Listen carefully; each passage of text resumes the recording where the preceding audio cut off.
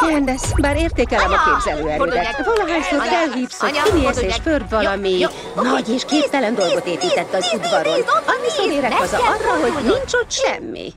Látod? Nincs itt semmi. Oké, fiúk, feladom. Mit tud ez a vacak? Ö, Candace? Candace! Hová mész, Candace? Szerinted hová megy?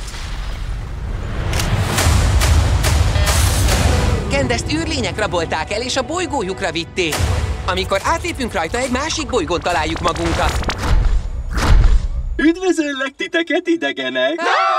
Óriás robot! Tessék itt a! Ó, ez csak norm, általában ártalmatlan. Ha meg akarjuk menteni a lányokat, űrhajót kell építenünk. Bolygóközi röppentyű inátorok!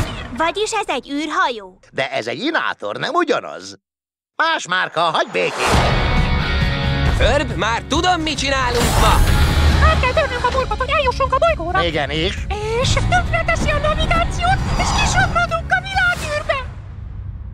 Na jó, ez számomra is újdonság volt. Meg kell tudnunk, hol tartják Candace-t.